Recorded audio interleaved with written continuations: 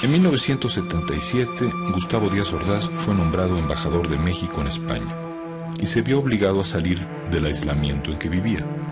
Cuando los periodistas le hicieron las preguntas obligadas sobre el 68, contestó acompañando las palabras con golpes en la mesa. Que va a España un mexicano limpio que no tiene las manos manchadas de sangre. Pero de lo que estoy más orgulloso de esos seis años es del año de 1968 porque me permitió servir y salvar al país.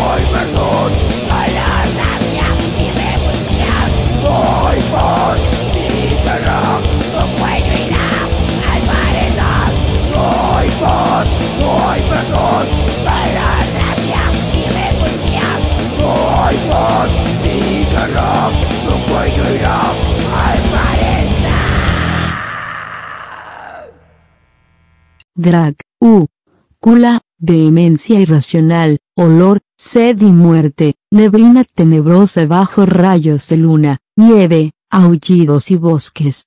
Vigilia, vigilia de homicidio, payor mortis. Contigo avergonzado a la iniquidad, no fuiste un cuento de hadas ni de refino en modales, puesto olores de siglos de tragedias, de fiambres. En tu recinto lobrego de licosas, tierra de Transilvania, como Narciso, como Lucifer, como Caín, tentas a la humanidad reptando en su imperfección, sabedor agrio, y bebés orgasmos, tu vida es la ofensa de, flotas, flotas y tus ojos, tus ojos voraces, la danza macabra de mujeres quemadas y deformes, voluptuosas y grotescas, harem hipnótico de rapiña, devela la mundana oscuridad recalcitrante, alimentó psicópata de tinieblas sucias, con las entrañas al descubierto, para el festín de la eternidad, ahora cabalgas en brisas tétricas y frías, sobre océanos, bermejos, tierra de Transilvania, tu sombrío y pálido ser es el anhelo de las montañas, de tu luz, tierra de Transilvania, tierra de Transilvania, tras la montaña en el bosque tu fétido deseo corrompe la lluvia. Despojas la cordura, e inyectas desesperanza, ya navegan en realidad, e irrealidad. Y se aferran a la vida, que estando perdidos, tu maldad se resiente tan fría e insolente como una bofetada inesperada y hierve la sangre, paralizado. Atados. Eres los niños perdidos, eres los hombres caídos de guerras, eres las mujeres que no dejan rastro, todos llevan tu marca. Estás allí, siempre estarás, más seco, más negro, aborrente. Y también ya sabes que es absurdo. Así, que más que tu hambre, anhelas su luz.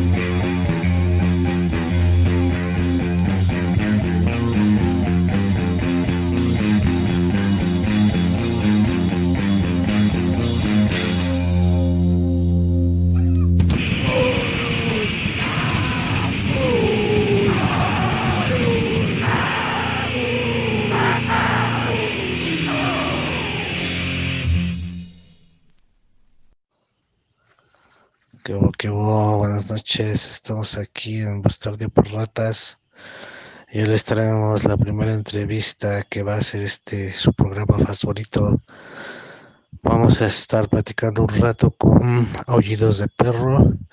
Vamos a poner unas rolitas de ellos y esperemos si se la pasen chingón. Cuéntenos, bandita, cuéntenos qué onda, cómo empezó la banda, de dónde surge, denos una historia de qué otras bandas vienen y pues qué les aconteció ¿Por qué aullidos de perro? Eh, en sí, cómo definen su estilo, ¿no? Porque yo noto por ahí algo de punk, pero también muy influenciado por el black metal. Entonces, cuéntenos, ¿no? Cuéntenos todo lo que quieran. Muy buenas noches, Johnny, gracias por la atenta invitación de, de de Perro.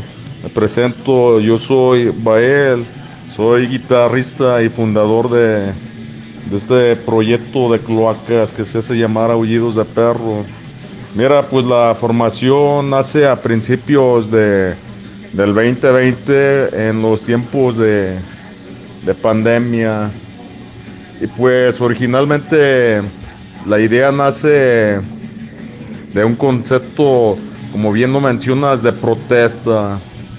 El por qué es muy fácil. Día a día de nosotros estamos, al igual que tú, se pinta la sonrisa de la muerte en las calles. Son temas, ahora sí que dolosos, que, que vivimos día con día. Y por qué no hablar en una forma dogmática de ellos, ¿no crees?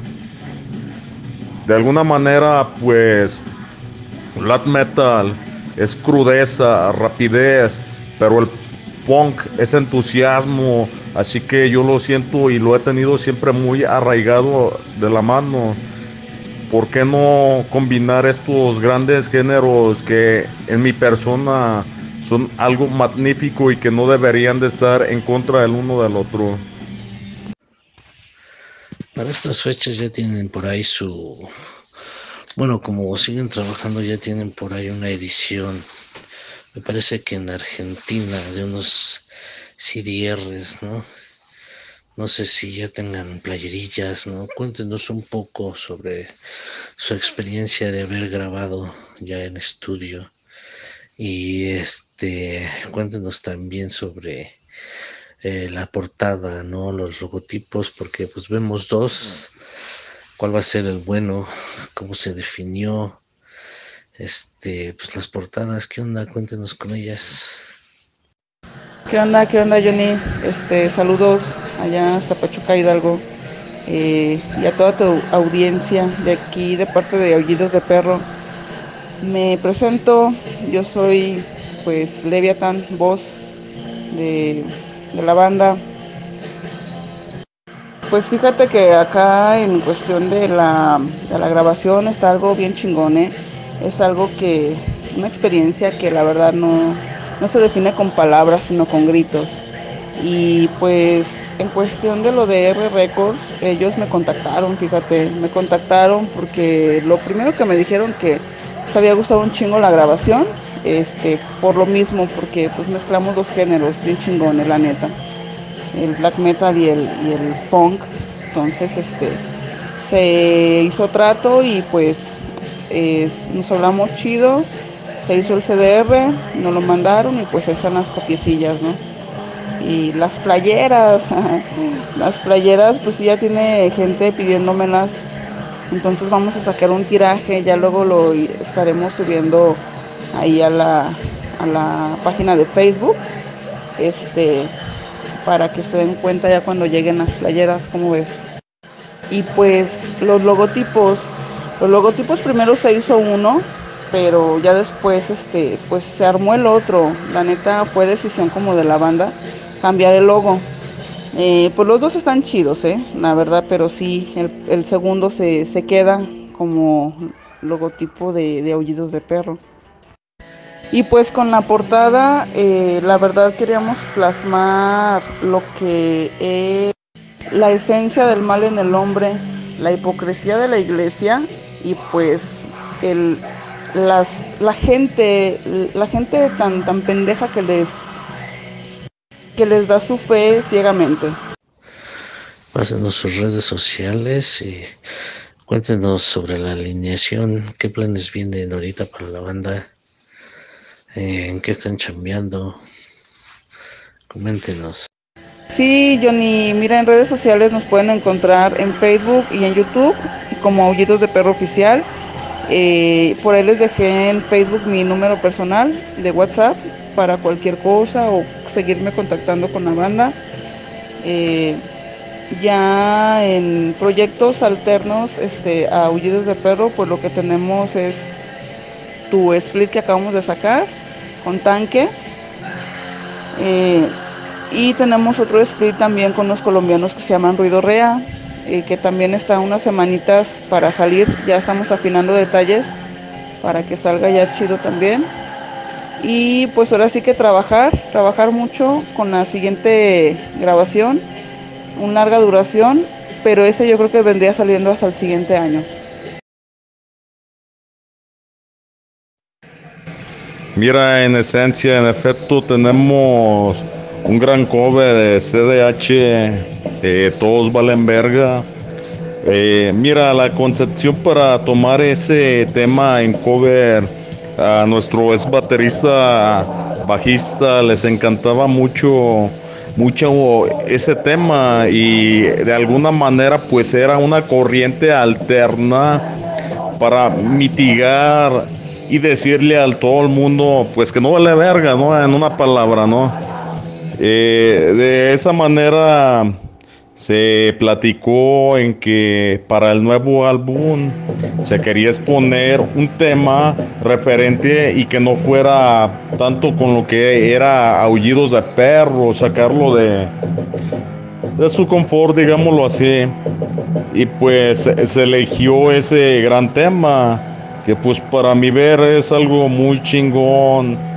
Y pues quedó listo, le ha gustado a la banda y pues ahí seguimos, ahí seguimos mi, estimado. Sí, también este Garra de Jaguar, eh, ¿cómo se llama la otra? Eh, Malinche, ¿no? Tienen cotorreos así como prehispánicos. Eh, es, interesante porque la mayoría de bandas ponen, eh, eh, cuando usan tópicos prehispánicos, hacen sus rolas este, melódicas, ¿no? Siempre. Ustedes mantienen la, la crudeza. ¿Es intencional o, o fue casualidad? Coméntenos. Excelente pregunta, hermano. El por qué esos dos temas toman la cultura prehispánica. En, lo personal yo siempre me he sentido identificado con nuestras raíces, a ponerlo en alto, nuestra sangre indígena que realmente es lo que es en nuestro ser, hasta lo que es en nuestros días, no lo que te dice una basofia iglesia o lo que tiene que rendir la, la cristiandad. Tampoco quiero herir sentimientos en cuestión de, de las personas que nos escuchan. ¿Sale? Mira, esos dos temas los abordé. A mí siempre se me ha hecho la naturalidad de la crudeza y la bestialidad en lo que se convierte el, el hombre. El hombre es una bestia por naturaleza. El metal debe de ser crudo debe de ser basógino, no debe de tener contemplamientos de nada ni hacia, ni hacia nadie. No fue casualidad que la concepción de este tema, lo que es garra de jaguar o malinche, fueran concebidos del mismo modo, al igual que una protesta, hermano. Tienen un tema que habla sobre los abusos de la religión. ¿Cómo, ¿Cómo es su proceso de composición en letra y músicas? Coméntanos. Mira, para poder hacer una canción, pues necesitas, lo primero que nada es inspiración. Sea, la agarras de las calles y de tus vivencias. Ya, por ejemplo, lo de la guitarra y batería, pues Bael se encargó de todas las guitarras y Maníaco Sad, pues de todas las baterías de este álbum que sacamos. Eh, ya las letras, pues prácticamente son todas de Bael. Este, le ayudo a componer unas cuantas y, pues este así es el show de grabación. Ah, más unas cervezas, porque eso sí no debe, de faltar cuando estés componiendo rolas. Obediencia perfecta. El título de su primer trabajo discográfico, demo o EP, como se le diga ahora. Muy sugerente, nos, nos abre las puertas a la rebeldía, ¿no? Pero más allá de eso, también a la, al libre pensamiento, ¿no? Al cuestionamiento de dogmas y de todo lo establecido. Claro, hermano, fue nuestra primera concepción, nuestra primera cría, obediencia perfecta rompiendo estereotipos del ser humano que se muestra en realidad cómo es el ser humano en la sociedad, cómo en realidad es tu iglesia, cómo realmente se pinta. No es tanto, ahora sí que atrás de un telón, realmente lo que es la humanidad. Míralo de una forma cierta Ahora sí que todo lo que se ve es mercadotecnia. Las cosas que realmente, y tú lo sabes, Johnny, estamos ahora sí en una situación crítica.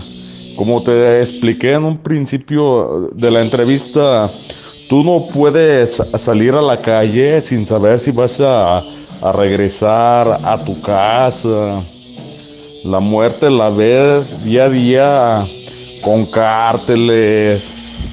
Ves personas casi casi afuera de tu casa descuartizadas, maniatadas, niñas violadas.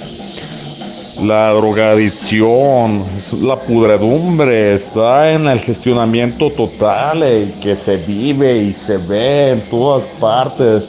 Ahora sí que yo no, no estoy inventando nada la justicia, el gobierno, únicamente son marionetas ahí que están programadas una, únicamente para personalizar lo que tus gobernantes quieren que vea, pero realmente todo eso ya viene de arriba y está controlado por cárteles. La iglesia, una más de las putas de todo el mundo que controlan, gobiernan, lavan la mente, roban la dignidad del ser humano. ¿Por qué del ser humano?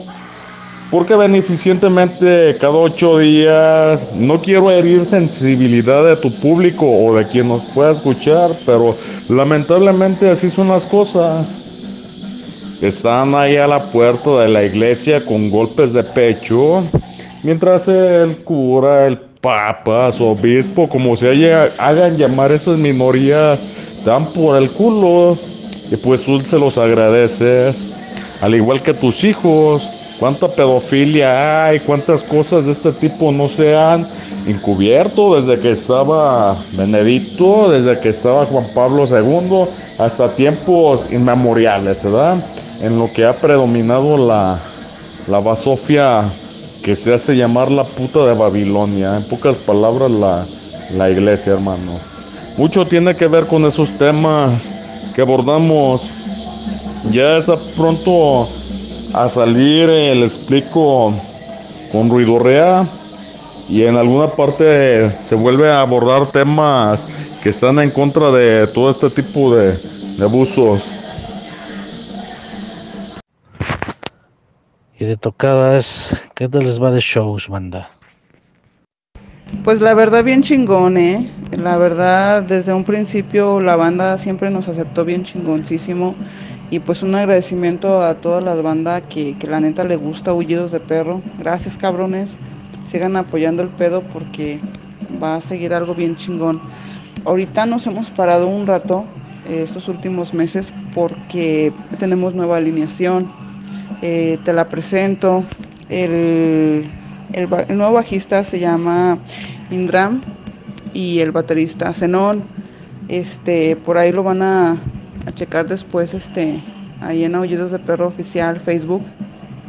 Pero pues la verdad, la banda nunca se ha detenido porque pues Aullidos de Perro es pura pinche protesta. Entonces, eso no se para. La verdad, chingón por el apoyo y después ya nos andaremos viendo de nuevo en los escenarios. Compañeros de ritmos satánicos, caóticos y destructivos, sus comentarios finales estuvieron en Bastardio Perratas. Mándenle un saludo a, a nuestro público, por favor. Tenemos como tres oyentes, entre esos soy yo en tres plataformas diferentes. Este, pues muchas gracias. Todas las mejores vibras para aullidos de perro. Sigan en caos.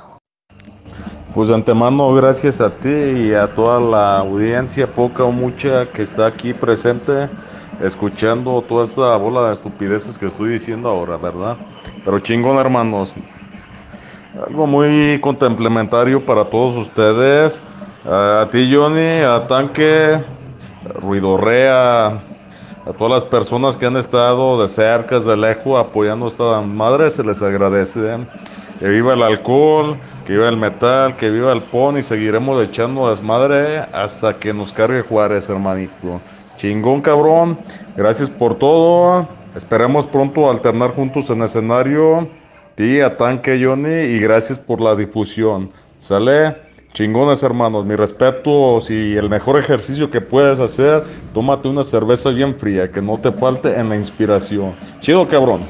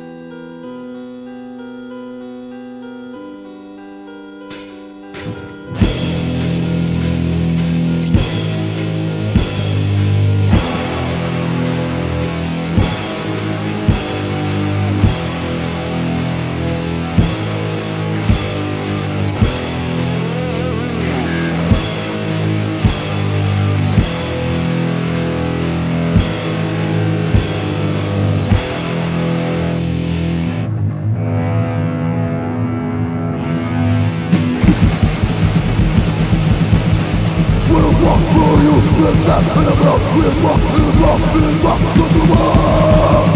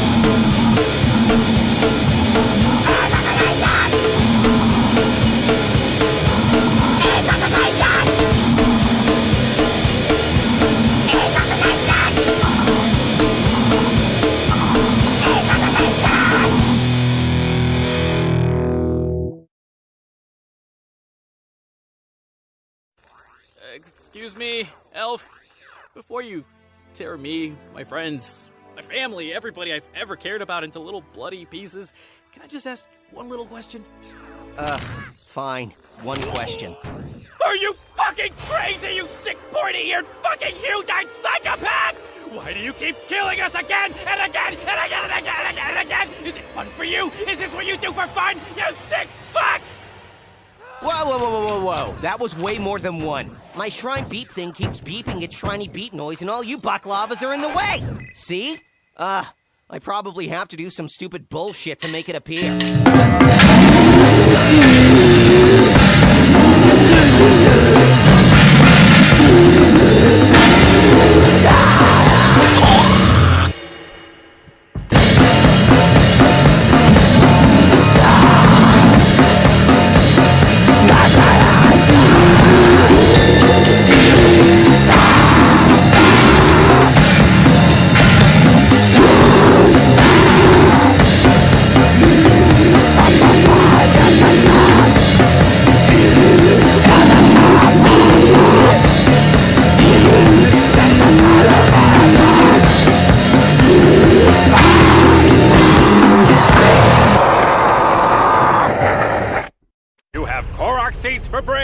Something terrible happens if you hurt a cuckoo three times. Look, I'm happy for you, or sorry that happened. You choose. But I'll need those rupees now. I want to buy a new collar for Pooh. Oh. Come on, come on, quest complete. Money, please. Whoa.